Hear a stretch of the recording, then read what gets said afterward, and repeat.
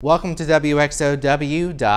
In the forecast, tonight 39 degrees, partly to mostly cloudy skies, south-southwest winds 10 to 15. Tomorrow, warmer 57 degrees, partly cloudy skies will lead to sunny skies by the afternoon. West-southwest winds 10 to 20. Cold tomorrow night, 33 degrees under clear skies, west winds 10 to 15. So here's your seven day forecast. Remember to turn your clocks back an hour as we have daylight saving time ending overnight. And then on your Monday, chilly 48 degrees. As we head into Tuesday, it's election day. We do have a slight chance of afternoon showers, but we're not going to be seeing any widespread rainfall, so it won't be an issue as you head out to vote on election day. Heading into Wednesday, showers and breezy, even some thunderstorms overnight, and then a moderate chance of some showers again on Thursday. More more breezy conditions. Check out how the temperatures take a tumble down to 34 on Veterans Day and the cold lingers next Saturday with temperatures barely reaching freezing. You can get more details on News 19.